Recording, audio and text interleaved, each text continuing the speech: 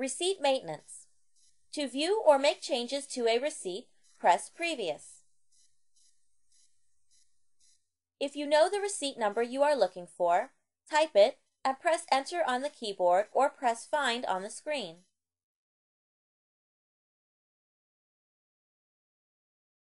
If you do not know the receipt number, you can search by date. Type the date and press Find.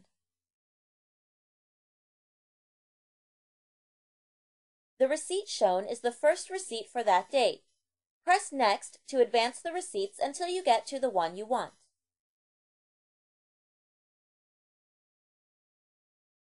To reprint a receipt, press Reprint. Then press OK and your receipt will be reprinted.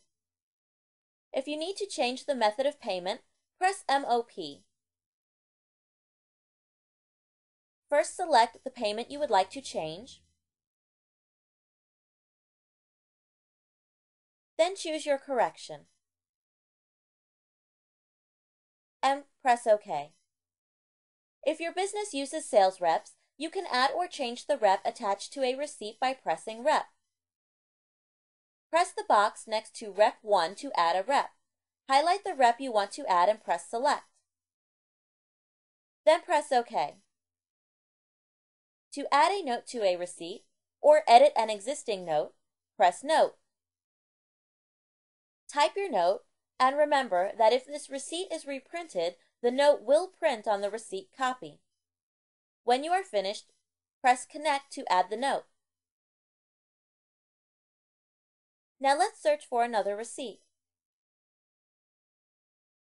To find the full credit card number that was used on a receipt, press Card Number and Signature. This will show you the credit card number and expiration date.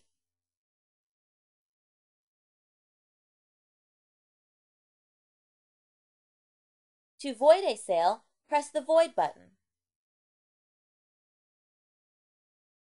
A void receipt will be created and will be highlighted in yellow. If you look at the original receipt, you will see that it is now blue, which indicates that it was voided. To return to the point of sale screen, press Bye Bye.